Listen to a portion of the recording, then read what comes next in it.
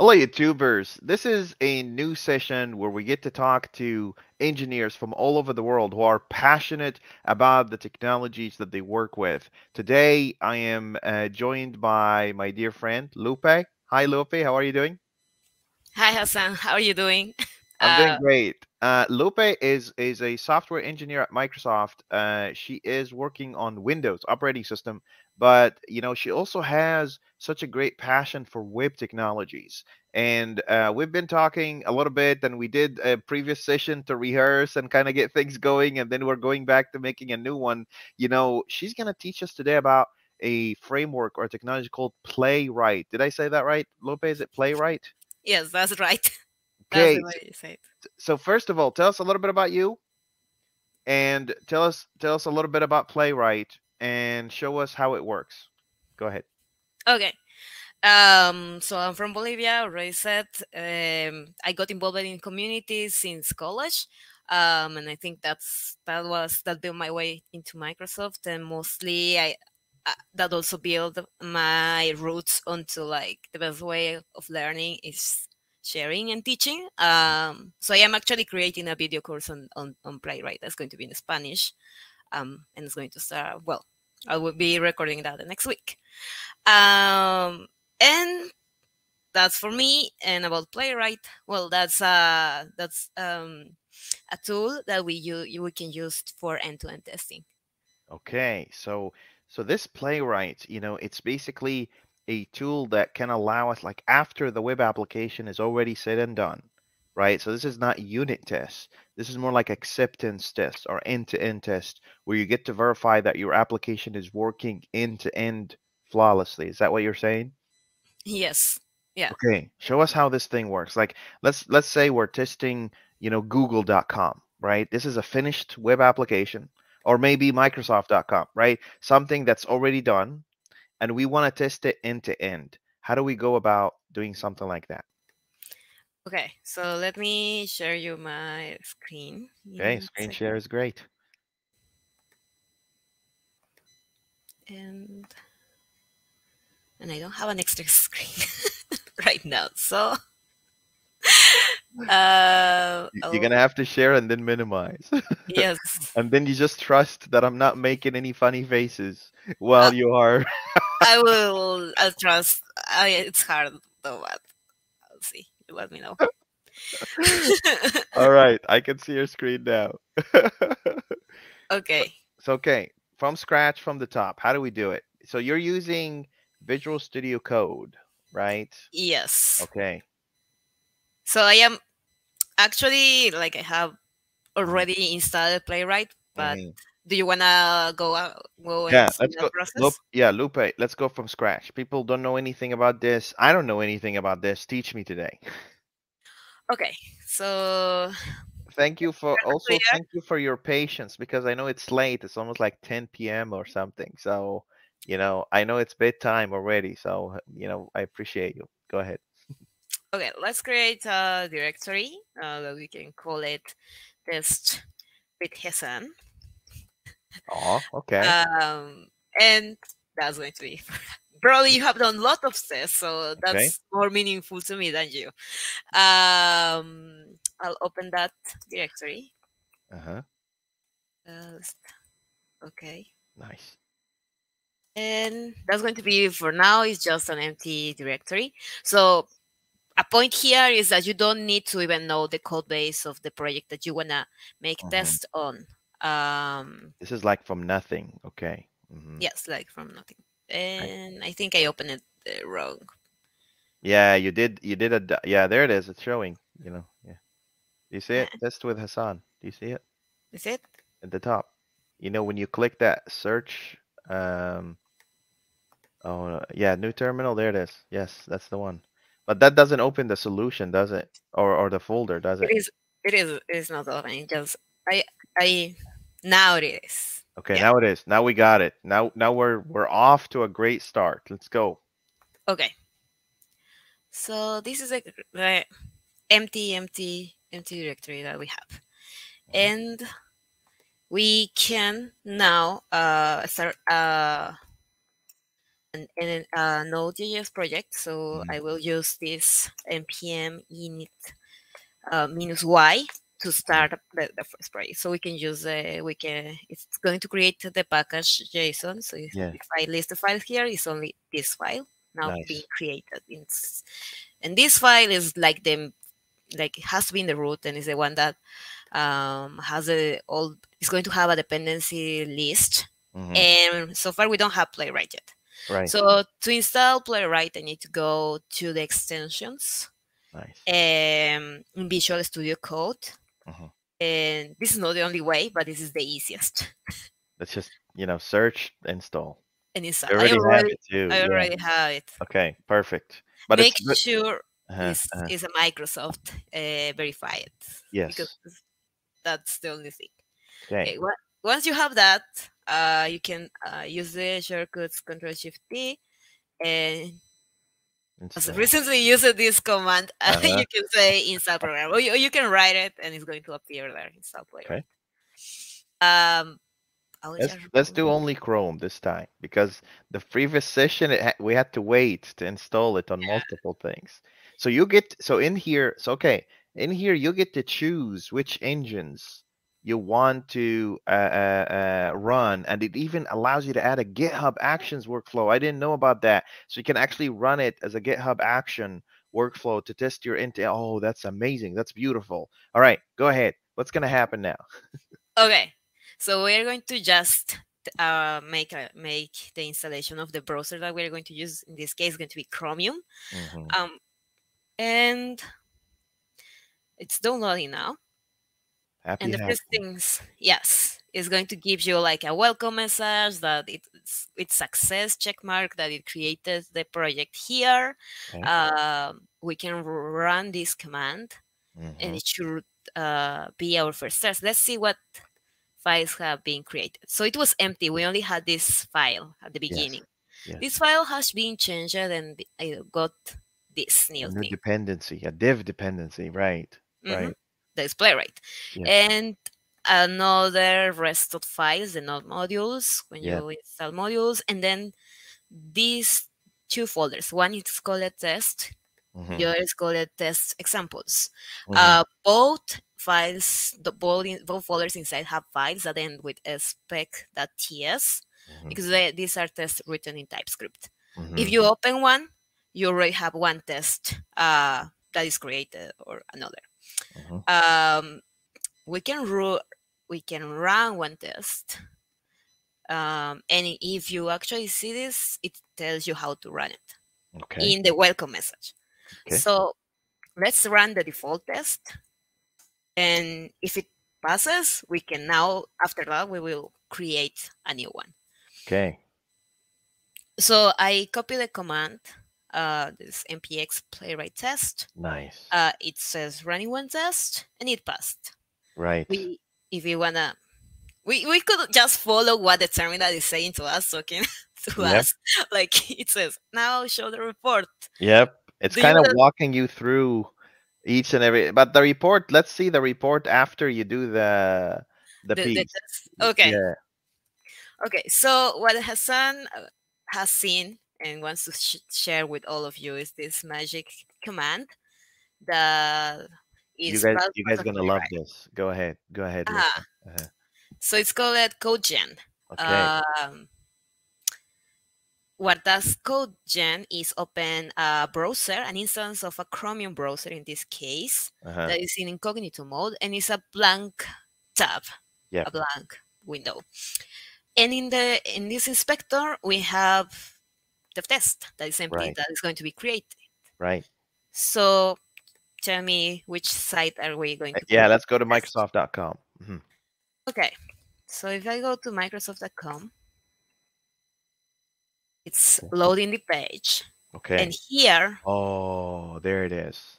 There it is. is, is already the first line of our test being created. So you're navigating, you're doing things on the page, and you don't have to go write the code for it. It's just writing the code for you as Uh-huh. you are because your behavior on the page is the test that you Yes. Ha. That's uh, end-to-end testing. Imagine that you have all the unit tests passing and your functions are working correctly, but your website's not usable. Like nobody Yeah. can click anything. That's Yeah. the like if you you have an application that does not have any like zero test, the first test to uh, start adding would be an end to end. Right. At least to make sure that you can interact with your application. Okay, let's do this. So let's click on this cart logo at the top. So that's the next step. And then let's verify that the page has the word cart in it. Okay. So we click on that page. Yes. It says it locates Yes. that icon, it clicks on it, expects that the URL change change. Yep. We can modify that. And then I can click on this one. Yes. And we have a selector. Oh my I God, it's already doing it for you. It's already saying it must have cart in it. but this is this, this is is this is this is not uh, this is Yeah. uh this is the selector this is in, the difference is two steps um Yeah. first we locate locate and then uh and then we expect uh, we, re- we review the page to like Mhm. we can add other expects but Mhm. expect is the actually assertion that we are like saying yes. so here what happened is we are locating an element in this case uh, h1 Mhm. which is a title that has a Mhm. text card but we haven't done any assertion yet Right. um, because this is um, AI. Um, now we can copy this test and we can modify that, yeah, of course. make that spe- spec.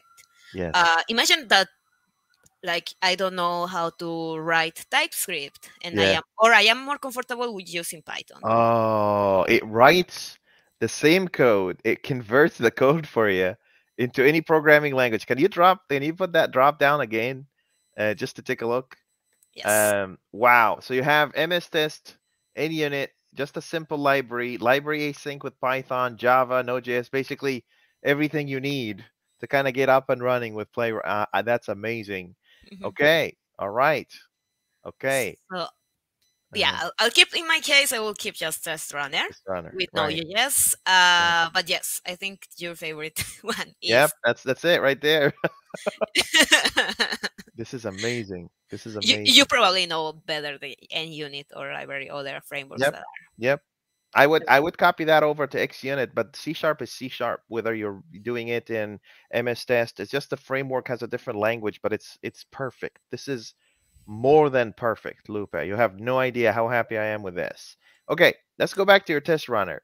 How do we tell Okay. it this page has the word cart in it, like Okay. as an assertion piece? Mm, So now let me just copy this test. mhm. Uh, first, let's check if this test will run. It's actually running. Yes. It's actually running. So um, if you just wanna try your first Mhm, test in Modify, the default when you run the npx playwright test, just takes this file, the, Mhm. the first file. We are not defining the folder. We're not defining which file. It will just test whatever is in this file.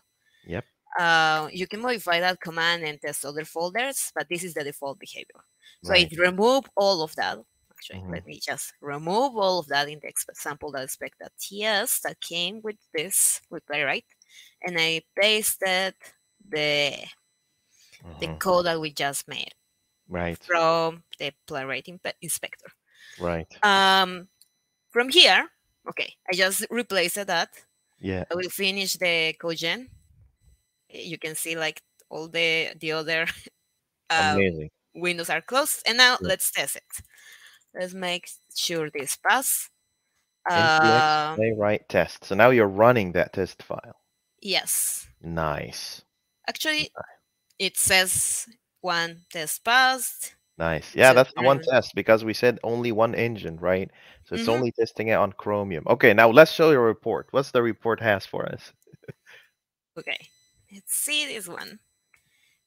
And it is saying that it's going to be opening here. Here we go. By the way, Lupe, what browser is this? This looks pretty cool. Is this a normal Chrome browser? No, this is Firefox. Um, Okay. It opens the like Visual Studio Code is the one that's actually opening uh, your local host. Okay. uh, and my VS Code is the one that is like linked to open all, by default all the links in Firefox. Nice. So this is not Playwright. This is uh, my configuration Yeah. Nice. If your default default browser is Chrome, then that's going to be the one where it's being open.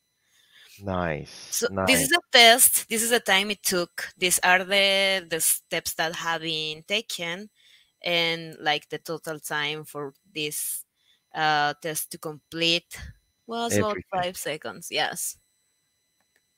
And and what happens if you exp- yeah browser context new page page Yes. go- oh this is this is fantastic Where that's all the steps fantastic that happen it. Um. So. And okay, so you can see here, it's using browser context, hmm uh, which is not a browser. hmm it's like Uh, a headless headless browser in a way Ah, yes. Uh-huh. And it's using a new page, creating a new page, and then close it at the end. So that's what is happening. Um, if we go to the to the docs, uh-huh. sorry, playwright uh, that depth, uh-huh.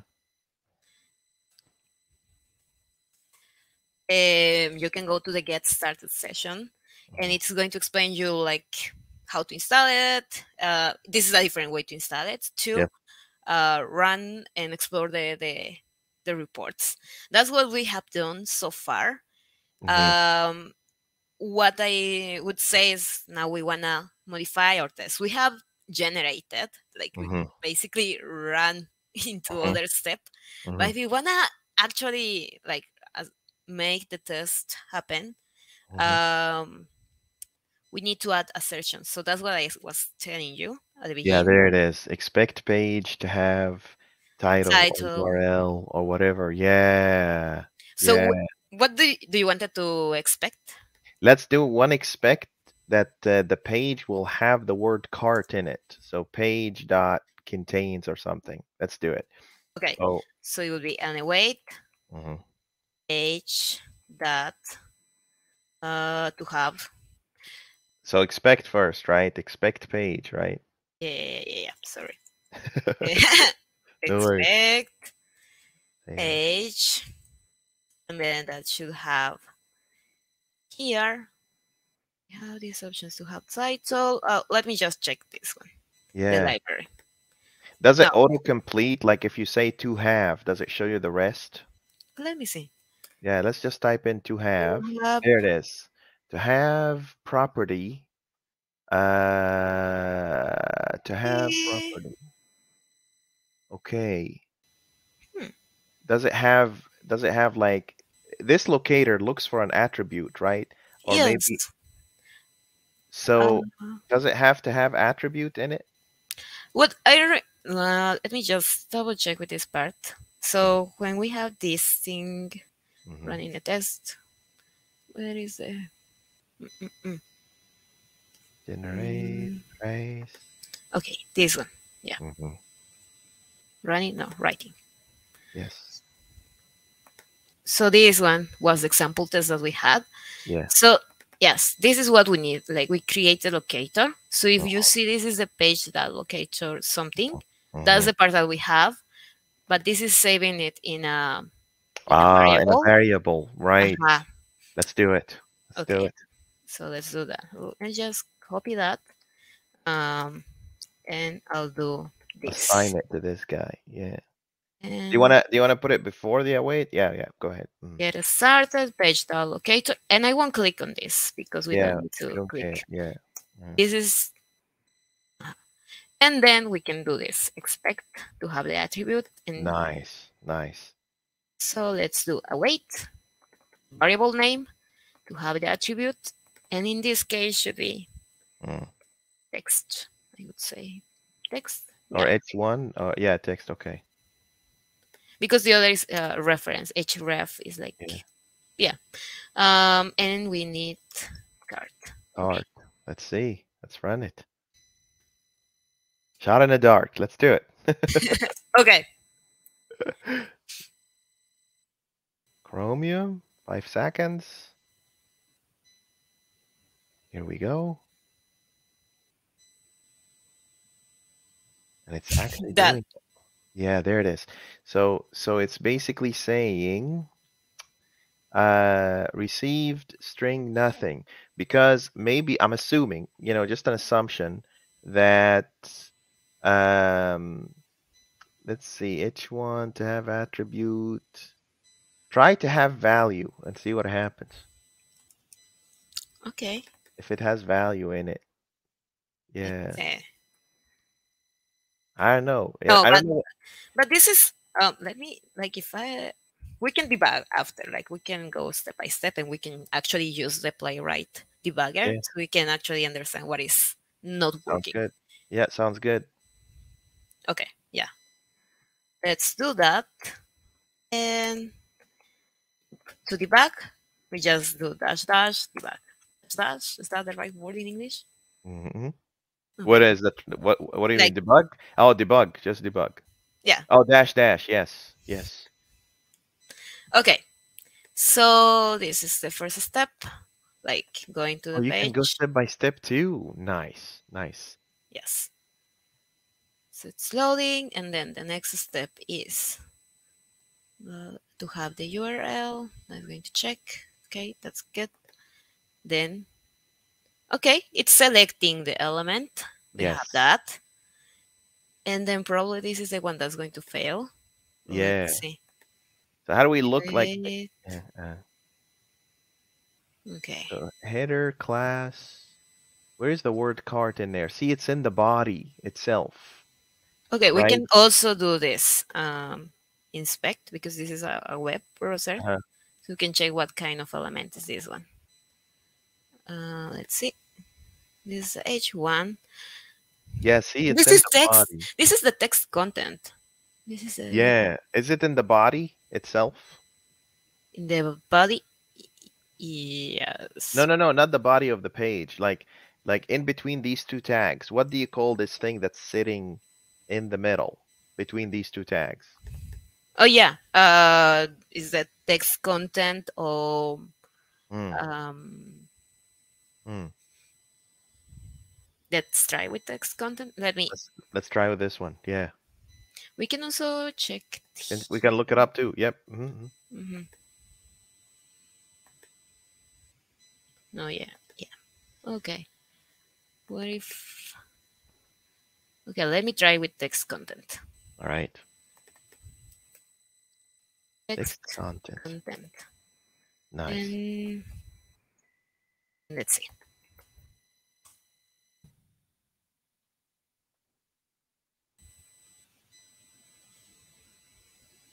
Oh, sorry. I Oh, have I I, I, I, I yes, I have the debugger. No worries. Let's do it.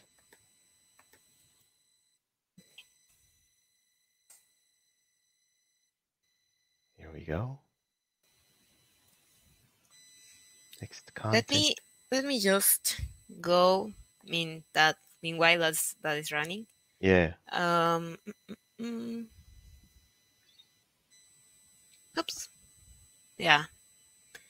It is not getting it. Call. Yeah. Yes, and it's like claiming is that to have attribute, to have what else can it have? Assertions. So so so just a random thing. See, Uh-huh. see it, it has to have text. Do you see it?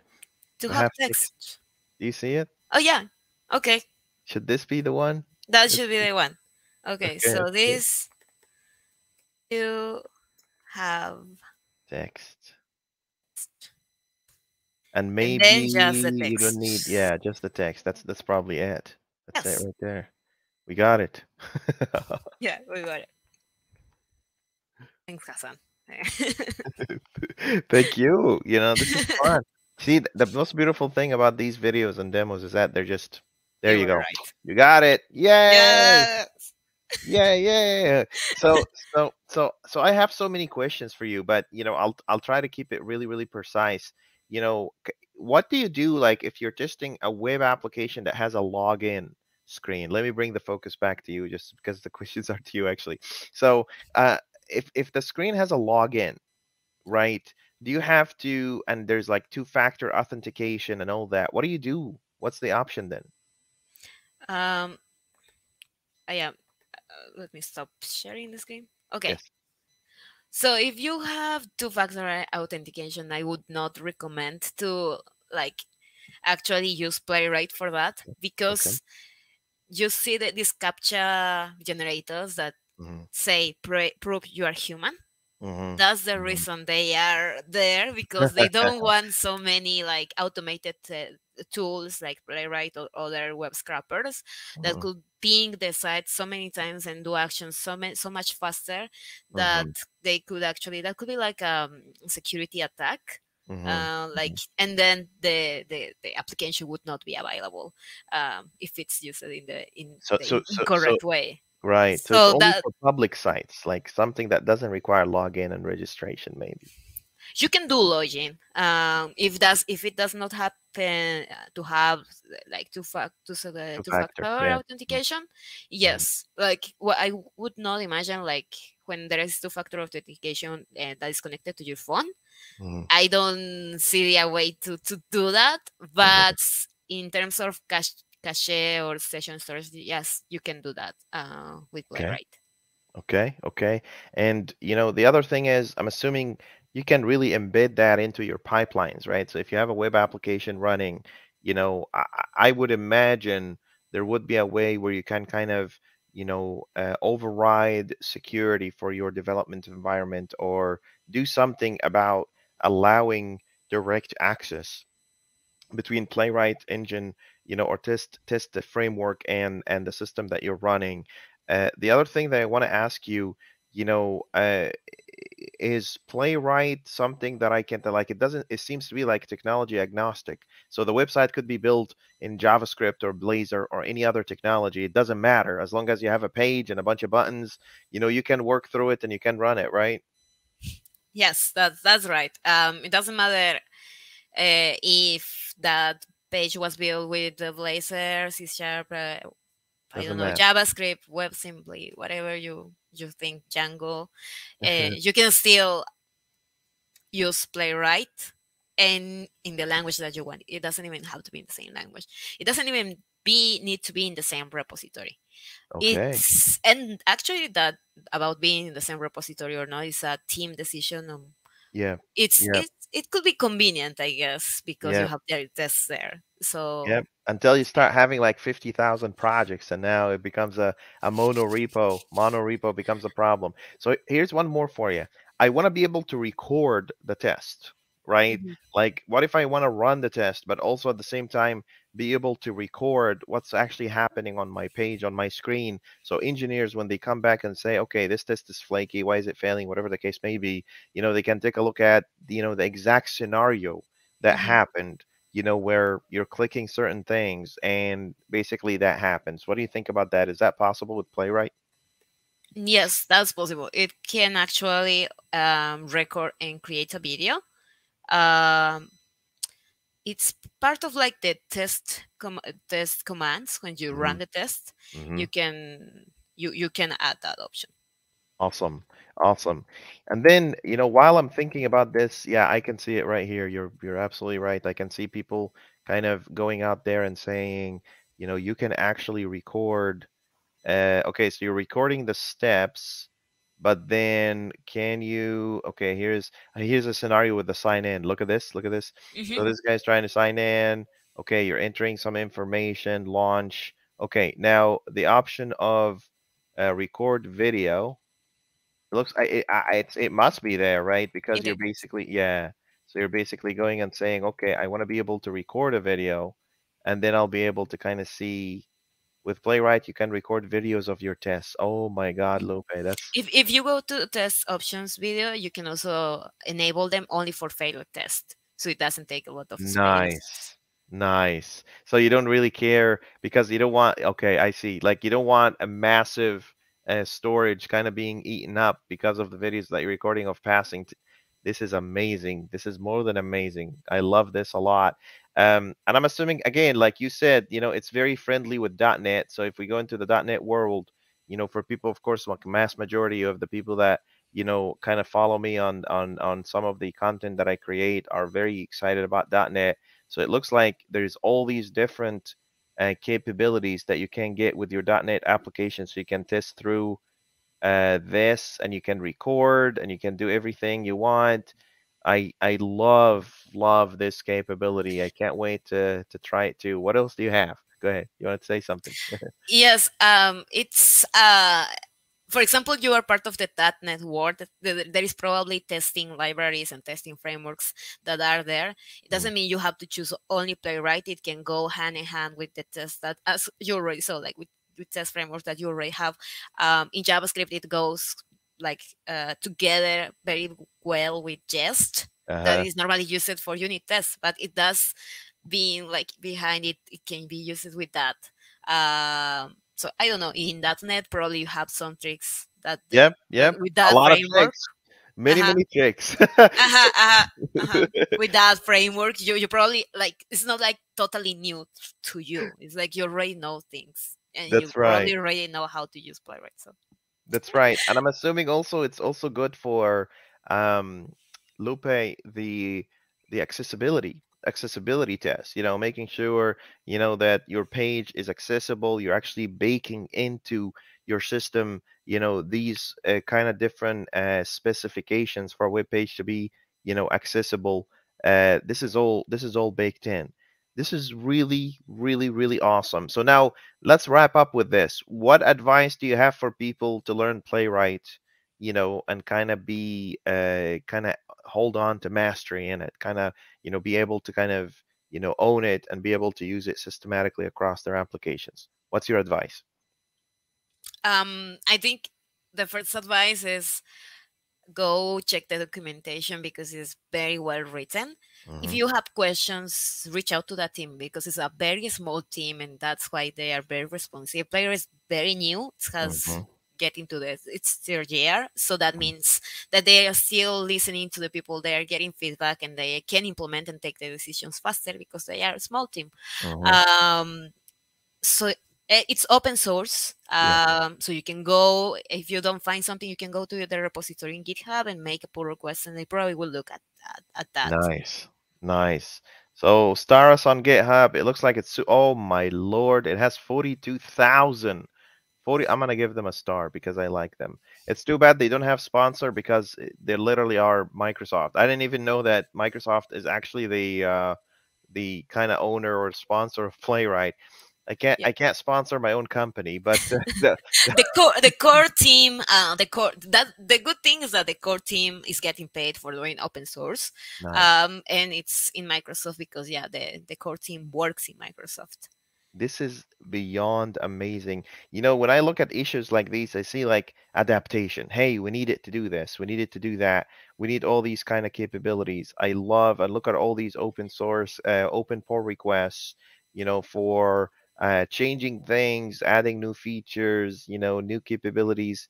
This is all goodness. This and, and all... also, you can see like that, like how fast they close their issues because they are paying attention to the community. Yes, yes, 6,000 issues. Oh my God, that's that's a lot. 3 days ago opened up, 3 days closed. You're you're not kidding. You know, the community and I'm assuming like also there is a lot of uh so you have 303 and used by 16,000 16,000 almost 300 people across. I love this. I love Playwright. Thank you so much for uh, introducing me to playwright you know you are very kind and, and very patient and, and passionate you know about you know the topic and i look forward to doing more playwright things with you you know i'm going to try to kind of play around with it for a little bit and then i might have a lot of questions for you you're going to have a kind of help me out you're going to be my playwright guru what do you think about that um, thanks for all the invitation and all of the believing in me. I would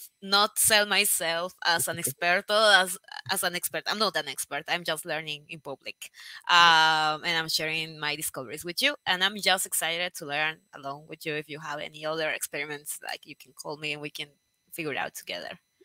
Absolutely, absolutely, Lupe.